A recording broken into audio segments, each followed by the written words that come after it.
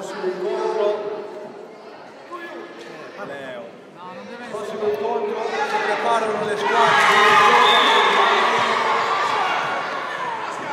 e Cantiano. Ripeto, Giovane Urbani e Cantiano il prossimo incontro.